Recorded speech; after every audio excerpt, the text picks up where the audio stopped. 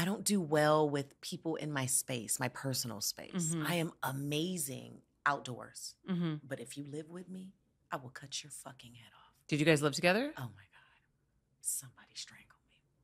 it worst time of my life. How long And did you guys live together? He was wonderful. I don't even remember. I hated every moment. Wow. I just, I just, and it's not him. He was wonderful. Most Mhm. wonderful roommate. Is that, I don't even know if I should call. I don't know. yeah. But he was wonderful. It's me. I just cannot stand anything. Everything irks me because Yeah. it's all mines. It's just mines, and I don't want you to touch my things. That is not how you wash that dish. Oh, how Oh, no. dare, how dare you sweep the floor like that? I'm one of those people. Yeah.